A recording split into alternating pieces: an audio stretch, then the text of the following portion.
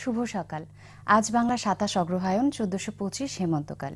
ইংরেজি এগারো ডিসেম্বর দু হাজার আঠারো মঙ্গলবার। একুশে টেলিভিশনের সকালে সরাসরি আয়োজন একুশে সকালে। আপনাদের সঙ্গে আছি আমি লাবণ্য।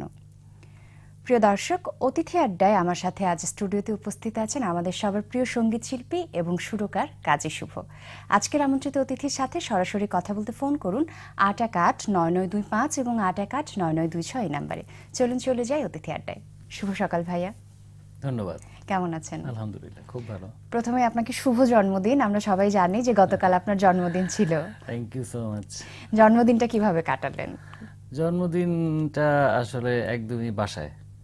আচ্ছা। আসলে অনেক জায়গা থেকেই দাওয়াত থাকে। সব জায়গা যেহেতু যাওয়া সম্ভব না সেই কারণে চিন্তা করি বাসায়ই থাকব। আর স্পেশালি আমার মেয়ে ওই এখন সব করে আর কি ওর পূর্ণতা। ওই বাবার কেক নিয়ে ব্যস্ততা ওই সব কিছু আর কি।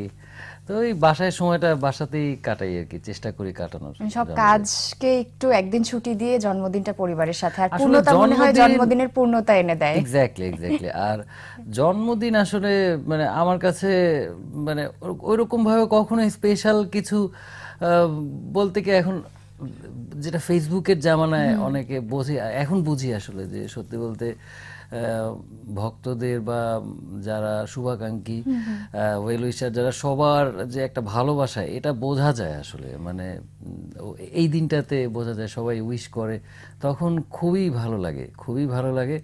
কিন্তু আমার কাছে একটা জিনিস মনে হয় যে আমি ফিল করি যে আমার জীবন থেকে তো একটা বছর চলেই গেল। এটা চিন্তা বাস্তবতা এটাই। তো এই আর কি আল্লাহ রহমতে তো পার করলাম অনেকগুলো বছর। জীবনের নিয়মে তো এক একটি করে জন্মদিন আসবে এবং একটি করে বছর কমবে এটা সবার জন্যই নিয়ম।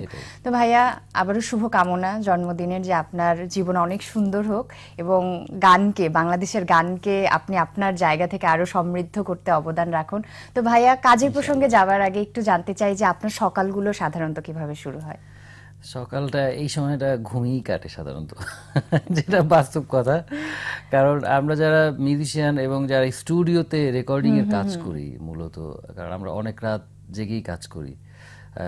মানে এবং সবচেয়ে বড় বিষয় যে আমার কাছে সবারই এই লাইনে যারা আছে সবারই ওই রাতের পর যে একটা পরিবেশটা একটু কুল থাকে তখন ঠান্ডা মাথায় দেখলে একটা গান সুর করা বা কম্পোজিশন করা এই জিনিসগুলো তখন ইজিলি হয় আমার কাছে মনে হয়। তো এই কারণেই ওই লেট নাইটে ঘুমানোর কারণে এই সময়টা ঘুমিয়ে থাকতে। আর যদি কখনো দেখা গেল যে ঢাকার বাইরে শোটো থাকলে তখন তো খুব ভোরবেলা উঠতে হয়। এরকম প্রোগ্রাম থাকলে তো আসতেই হয়। ভাইয়া শো এর কথা বলছিলেন আর এখন তো একটু শো এরই সিজন শুরু হয়ে গেছে বলা যায়। তো ব্যস্ততা কেমন স্টেজ আহ, এই সময়টা প্রতি বছরই শো এর বেশ চাপ থাকে। তবে এই বছর একটু কম। কারণ আমরা সবাই জানি সামনেই জাতীয় নির্বাচন। তো নির্বাচনের কারণে ওই সিকিউরিটির কারণে হয়তো বা বেশ কিছু জায়গায় যে ওপেন এয়ার যে প্রোগ্রামগুলো আমরা করি সেখানে নিরাপত্তাজনিত কারণে অনেক প্রোগ্রামই ক্যান্সেল হয়ে যাচ্ছে আসলে।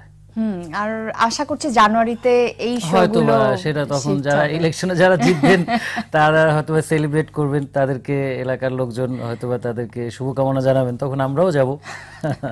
শুভকামনা জানাতে। তো ভাইয়া সকালের গল্প তো শুনলাম শোর গল্প শুনলাম। শোর পরে ভাইয়া এখন সাম্প্রতিক ব্যস্ততা কি কি নিয়ে আর সামনে আমরা আপনার কি কি কাজ পাচ্ছি? এখন ব্যস্ততা এই যে স্টুডিওতে বরাবর মতোই আমি শুরু থেকে আমি স্টুডিওতে গান তৈরি করতে আমার ভালো লাগে। নিজের জন্য হোক অন্যান্যদের জন্য হোক অন- অনেক শিল্পীর জন্যই গান তৈরি করেছি সিনিয়র জুনিয়র অনেকের জন্যই গান তৈরি করেছি। এটাতে আমার বেশ ভালোই লাগে এবং যখন একটা ভালো ক্রিয়েশন হয় তখন আনন্দের আর সীমাই থাকে না আসলে সত্যি বলতে তখন খুব ভালো লাগে যে একটা ভালো গান হলো। আর এই তো রিসেন্ট বেশ কিছু গান তৈরি করছি সেগুলো মিউজিক ভিডিওর প্ল্যান চলছে। আচ্ছা। এবং সামনেও আরও কিছু নতুন শিল্পীর জন্য গান তৈরির প্ল্যান চলছে এবং বেশ কিছু নতুন অডিও কোম্পানি বা ইউটিউব চ্যানেল আসছে যাদের জন্য গান তৈরি করছি। আচ্ছা ভাইয়া মিউজিক ভিডিওর কথা যেহেতু বলছিলেন যে আপনার অনেক গানেই দেখেছি আমরা চমৎকার চমৎকার মিউজিক ভিডিও এই মুহূর্তে আমার যেটা মনে পড়ছে যে শোনাবো। এত চমৎকার করে একটি মিউজিক ভিডিও করা হয়েছে যে দর্শক খুব চমৎকারভাবে গানটার সাথে যেন একটা সম্পর্ক খুঁজে পায়। এবং আপনার গানের তো একটা মানে নিজস্ব প্যাটার্ন আছে যেটা অনেকেই বলে যায় এই গানের সুরে আমরা মানে কাঁদতে পারি এই ক্ষমতাটা আপনার আছে। কাদা হাসা আসলে এটা ডিপেন্ড করে সব টাইপের গানই করি চেষ্টা করি আমার মতো করে আমি আমার ফিল থেকে গাওয়ার চেষ্টা করি। আসলে সত্যি বলতে কি সব টাইপের গানই গাই আমি কিন্তু আমার কাছ থেকে আসলে ফোকটা শ্রোতারা বেশি বেশি পছন্দ। আনন্দের গান বলতে আমার যেটা মনে পড়ছে মেলা থেকে মেলা এনে দে। বউ এনে দে। হ্যাঁ দেখ, মানে এটাই যে অনেকেই বলে যে এটা আহ, সব টাইপের গান গাওয়ার একটা বিষয় আছে। অনেকে হ্যাপি এই কারণে যে না কাজী শিবুকে দিয়ে অনেক গীতিকারী আছে যেগুলো যে সে আমাকে দিয়ে ফোক গানও আমার জন্য লিখেছেন আবার এই টাইপের ধুমধারাক্কা গানও লিখেছেন। তো এটা আমি বলব যে আল্লাহর কাছে অনেক শুক্রিয়া কারণ আহ, সব টাইপের গান গাওয়া কিন্তু বেশ টাফ এটা মানে সবার ভাগ্যে হয়তো বা জোটে না এটা আল্লাহ আমাকে এই জিনিসটা দিয়েছে এর বাইরেও কিন্তু এই বিশেষণটা আছে যে কাজী শুভ কাঁদাতে পারে আপনার সুর দিয়ে। এটা আপনাকে স্বীকার করতেই হবে। হ্যাঁ, আল্লাহই জানে সেটা শ্রোতারা বলতে পারবেন। তো ভাইয়া অনেক বছর ধরেই কাজ করছেন এবং সুর সৃষ্টির সাথেও আপনি আছেন। আমি যদি আপনার কাছে একটু জানতে চাই যে এই যে এতগুলো গান নিয়ে কাজ করা হয়েছে কাজী শুভর কাছে কি মনে হয়? যে দর্শকদের কাছে একজন কাজী শুভ তৈরি হয়েছে কোন কাজটি দিয়ে? অবশ্যই আমি বলব যে এখানে আসলে অনেক কিছু জড়িত। আহ, আমি কাজী শুভ একদিনে তো না অনেক পরিশ্রম অনেক ত্যাগ তিতিক্ষা বা অনেক স্ট্রাগল ছিল আসলে। আমার শুরুটা ছিল আমি মূলত একজন তবলাবাদক ছিলাম। জি আমরা জানি আপনি মিউজিশিয়ান তো সেখান থেকে ওই যে গাইতে গাইতে গায়েন আমি আসলে গান ওইভাবে শিখিনি আসলে। কিন্তু গিটার বাজিয়ে ছোটবেলা থেকেই মানে তবলা তো বাজাতাম ফাঁকে ফাঁকে বড় ভাই গিটার বাজাতো তো ওই দেখে দেখে বাজাতাম গান গাইতাম স্কুল কলেজে ফাংশনে বন্ধুদের আড্ডায় গান গাইতাম। ওই গাইতে গাইতে গায়েন আর কি। তারপর তো দিন ঢাকায় এসে দূরবীন ব্যান্ডের সাথে জয়েন করলাম। আমাদের দূরবীনের কর্ণধার শহীদ ভাই আমাকে পিক করলেন এক কথায়। কারণ অনেক বেশি অবদান আমি বলব যে আমি এ পর্যন্ত আসার পেছনে শহীদ ভাইয়ের অনেক অবদান।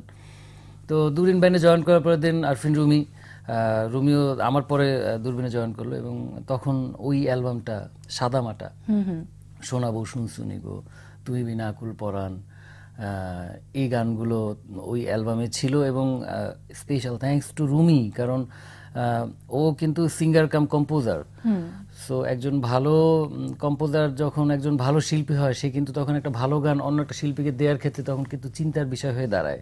যে আমি তো নিজেই গাইতে পারি আর একজন শিল্পীকে দেয়া সেটা কিন্তু অনেক বড় হার্ডের বিষয় না হলে আত্মা বড় না হলে এটা সম্ভব না। তো থ্যাঙ্কস টু রুমি। তো শোনাবো শুনশুনি গো এই গানটা। আসলে রুমি আমাকে একদিন অনেক রাতে রাত তিনটার দিকে আমাকে ফোন দিব। শুভ ভাই খুব দারুণ একটা গান করেছে আপনার জন্য। তা আমিও খুব এক্সাইটেড কি গান?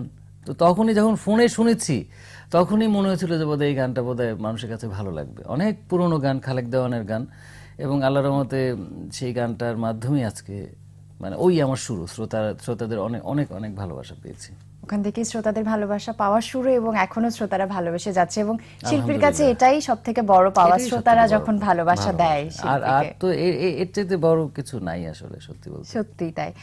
ভাইয়া আমরা একটু সুরের প্রসঙ্গে চলে যাই। গান নিয়ে শুনলাম যে আহ, আচ্ছা সুর প্রসঙ্গে শুনব কিন্তু আমার কাছে ব্রেকের জন্য নির্দেশ চলে এসেছে ছোট্ট একটা বিরতি নিয়ে নিচ্ছি। প্রিয় দর্শক নিয়ে নিচ্ছি ছোট্ট একটা বিরতি। খুব তাড়াতাড়ি আবারও ফিরে আসব আমাদের সঙ্গেই থাকুন।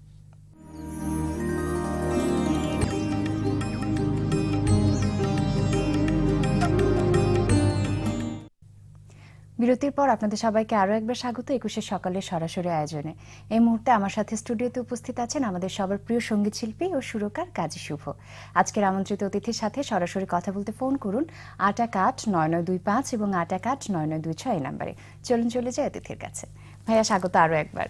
বিরতিতে যাবার আগে আপনার সুর করার প্রসঙ্গে আমরা কথা বলছিলাম। সুরকার শব্দটার চেয়ে মনে হয় সুরস্রষ্টা শব্দটা বেশি অ্যাপ্রোপ্রিয়েট ইটস অ্যাবাউট ক্রিয়েশন মানে চাইলাম সুর করব আর সুর করে ফেলব এটা কখনোই সম্ভব না। যেটা পড়াশোনা করেও মনে হয় সম্ভব না। স্পিরিচুয়াল একটা ব্যাপার। আর ভাই আমরা জানি যে আপনার একটা স্টুডিও আছে এবং যে শিল্পীদের একটি স্টুডিও থাকে সেটা মনে হয় তার একটা আত্মার জায়গা হয়ে যায়। সেখানেই সংগীত শিল্পীরা সময় কাটাতে বেশি পছন্দ করে। অবভিয়াসলি অবভিয়াসলি কারণ আসলে স্টুডিওতে বসেই যে সুর হবে এটা কিন্তু এমন না আসলেই না আসলেই না। আমি খুব আয়োজন করে গিটার নিয়ে বসলাম কিবোর্ড নিয়ে বসলাম লিরিক নিলাম হচ্ছে না কাজ হচ্ছে না ভালো কিছু হচ্ছে না। দেখা গেল যে কই চলে গেছি কোথায় দেখা গেল স্টেডিয়ামে খেলা দেখতে চলে গেছি হঠাৎ করে মাথার মধ্যে এই সুর চলে আসছে। ইভেন বাজারে গিয়েও পর্যন্ত হয়েছে। মার্কেটে ঘুরছি ঘুরতে ঘুরতে ঘুরতে দেখা গেলো যে অটোমেটিক একটা সুর মাথার ভিতরে চলে আসলো। তো এটা আসলে মানে কখন কীভাবে হবে এটা বলা খুবই মুশকিল। এজন্য আর এটি spiritual spiritual বিষয়। বিষয়। আর সুর বিষয়টা আসলেই কঠিন। ওই যে বললাম যে যখন খুব ভালো একটা সুর বা কথা সুর সবকিছু মিলে একটা সুন্দর ক্রিয়েশন হয় না তখন মানে আনন্দ এত বেশি ভালো লাগে এটা বলে বোঝানো সম্ভব না। আমার স্টুডিও আছে। প্লাস আমি অনেক স্টুডিওতে স্টুডিওতে যে দেখা গেলো যে সেখানে গানের রেকর্ডিংয়ে সেখানে ভয়েস দিচ্ছি। তবে ম্যাক্সিমাম কাজ আমি চেষ্টা করি দেখা গেলো ভাইটাল কাজ যেগুলো সেগুলো আমি নিজে সুর করে দেন কম্পোজিশনটা খুব ভালো কাউকে দিয়ে অ্যারেঞ্জমেন্টটা আমার ডিরেকশনে যে এইভাবে এভাবে গেলে ভালো হয়।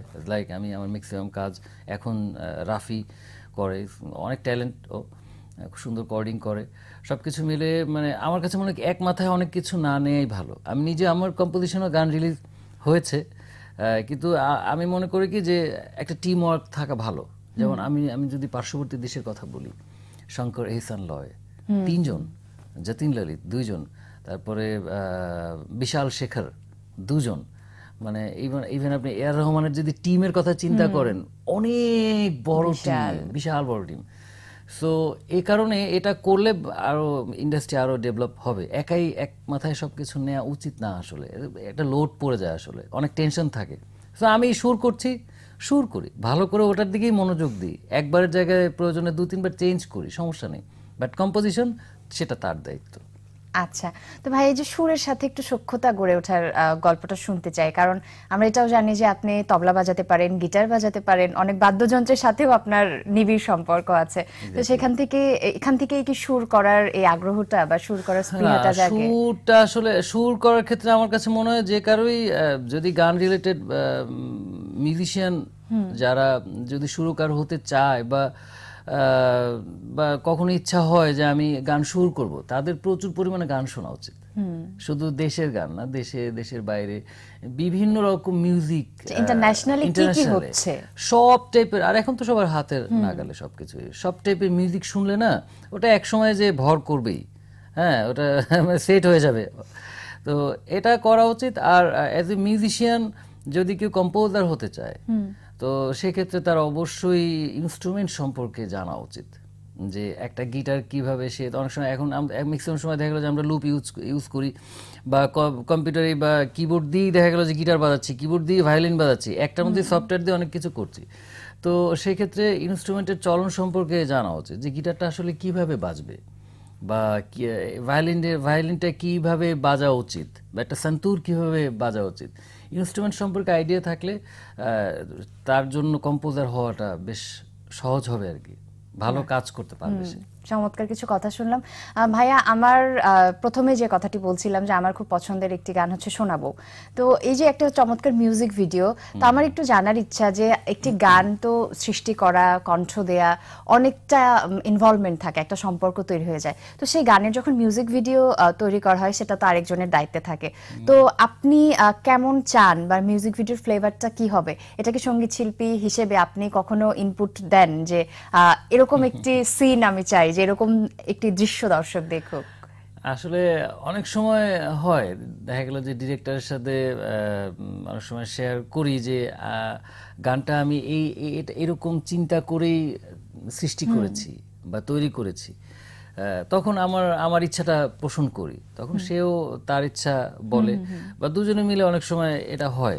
স্বাভাবিক। আমি যখন একটা সুর করি বা একটা গীতিকার যখন একটা গান লিখে একটা চিন্তা থেকেই একটা ভাবনা থেকেই কিন্তু একটা কল্পনা থেকেই কিন্তু জিনিসটা তৈরি হয়। তো সেটা হয়। আর এখন তো আসলে মিউজিক ভিডিও ছাড়া কিছু গান চিন্তাই করা যায় না আসলে। মানে বিষয়টাই এরকম. সিচুয়েশন ডিমান্ড আসলে। যদিও আমি মানে ভিউয়ের দিকটাতে আমি খুব বেশি একটা বিশ্বাসী না। কারণ ভিউ দিয়ে যে জনপ্রিয়তার মাপকাঠি একটা বিষয় এখন চলে এসছে যে অনেক গান হ্যাঁ আমার এই গানটা পঞ্চাশ লাখ ভিউ হয়ে গেল, গানটা জনপ্রিয় হয়ে গেল। ইটস নট লাইক দ্যাট এটা একদম ভুল ধারণা, একদমই ভুল ধারণা। ভিউ অনেকভাবেই করা যায়। আর ভিউ হলেই যে মানুষের খুব ভালো লাগবে গান, সেটা কিন্তু বিষয় না। ভিউ তো ওই যে বললাম ভিউ অনেকভাবে হতে ভিউ তো আপনার গান রাশিয়াতেও একজন মানুষ দেখতে পারে। হ্যাঁ এটা তো ওয়ার্ল্ড ওয়াইড ইন্টারনেট তো শুধু বাংলাদেশে না। তাই না? ইউটিউব তো শুধু বাংলাদেশে না গুগল তো বাংলাদেশের না। তো আমরা টের পাই আমরা স্টেজে কাজ করি তো আমরা টের পাই যে কোন গানটা কোন শিল্পীর কোন গানটা আসলে জনপ্রিয়? সেটা স্টেজে গেলে বোঝা যায় তখন রিকোয়েস্ট করে। এটা ভিউ না। ভিউ এখন হ্যাঁ ভিউ হচ্ছে ভালো। ঠিক আছে যে একটা গানের অনেক বেশি ভিউ হলো অনেক বেশি দর্শক গানটা দেখল। ভালো এটা পজিটিভ কিন্তু এটাকে পুঁজি করেই যদি কেউ মনে করে যে আমি এই আমার গান এক পাঁচ মিলিয়ন হয়ে গেল যে আমি জনপ্রিয় হয়ে গেলাম এটা করলে কিন্তু খারাপ। তখন ভালো গান হবে না ভালো ভিডিও হবে এবং যেটা হচ্ছে। আমার কথা হলো সবার আগে ভালো অডিও হতে হবে। যদি গান আমি গান তো শোনারই বিষয় তাই না? ভিডিও দরকার কেন? কারণ এখন সিডি নেই ক্যাসেট নেই আমি কোথায় শুনব গানটা? ইউটিউবে তো শুনব দ্যাটস ওয়াই একটা ভিডিও দরকার এবং আমার কাছে মনে হয় ভিডিওতে অনেক টাকা পয়সা খরচ করে অনেক বাজেট দিয়ে মিউজিক ভিডিও না বানিয়ে মোটামুটি ইচ্ছা করলে মোটামুটি একটা বাজেট দিয়ে একটা সুন্দর গ্রহণযোগ্য মানে অখাদ্য যাতে না হয়। মোটামুটি গ্রহণযোগ্য একটা মিউজিক ভিডিও হলেই যথেষ্ট।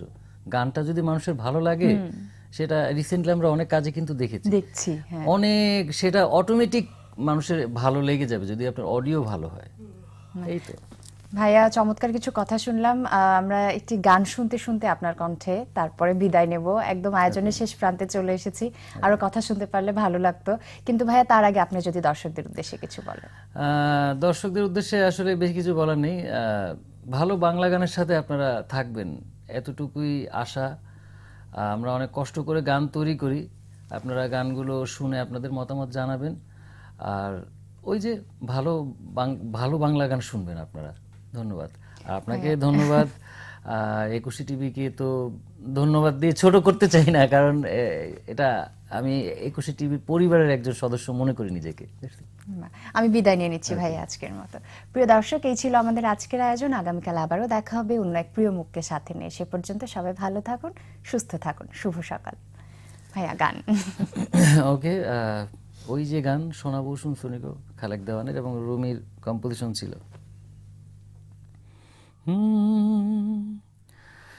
ও বউ গো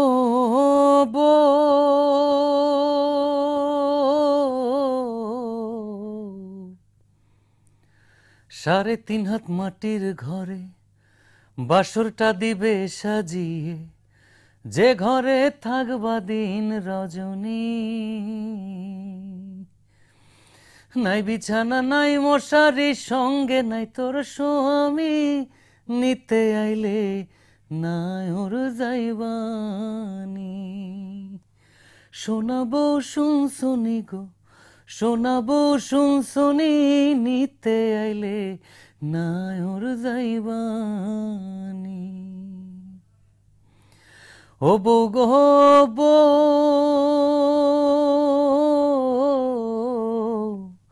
ছেড়ে গেলে আত্মা জামাই, মাটির দেহের কিসের বড়াই, ফাঁকা দেহের বিচার করবে কে?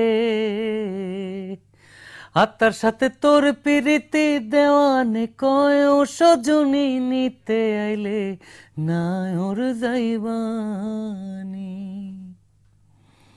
শোনাবো শুনশুনি গো শোনাবো, শুনশুনি নিতে আইলে নাই ওর যাইবানি।